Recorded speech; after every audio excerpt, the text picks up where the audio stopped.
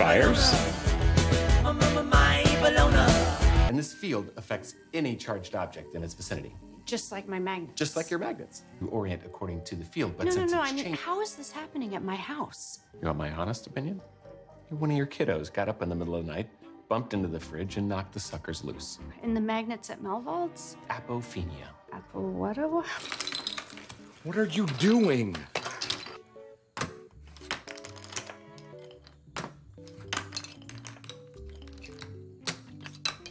Okay, you're freaking me out. You slipped on this, remember? Yeah. Yeah, it fell in the night. It lost its magnetism. Oh, did it? And the same exact thing happened at my house the day before. Wow.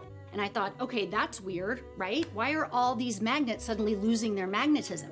Take me back there. To the lab. Yeah, I want to go back. Because some magnets fell off your fridge. Yes. Okay, a magnet? Magnets? Do you know magnet? Magnet? Magnet. Yes, magnet. Okay, so uh, magnet on my my fridge, my ice box, and then they they fell. They demagnetized, stopped working. Uh, uh, do you understand? Yeah.